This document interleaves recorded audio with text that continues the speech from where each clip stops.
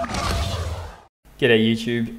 This video will show you guys a heads-up display system load indicator on Ubuntu 16.10 and you'll see here it is here so it shows you a few things including uh, CPU usage, current RAM usage, uh, the network usage and the disk reads uh, per second, read and write, all of that there. So it's, uh, it's pretty cool, pretty easy to install. It does also offer a link to the regular system monitor there, which is handy, but uh, I'll show you guys how to install it. So what you need to do is uh, open up a terminal and type in the following, sudo apt install, uh, what is it called, indicator multi-load. So indicator dash multi-load, hit enter, throw in your password, and allow that to install. Of course mine's already installed so a little bit quicker than what you'll see on yours.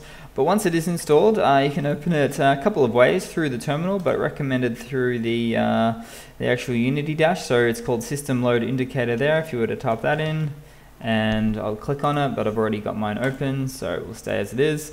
And just a little visual representation of the CPU usage there as well.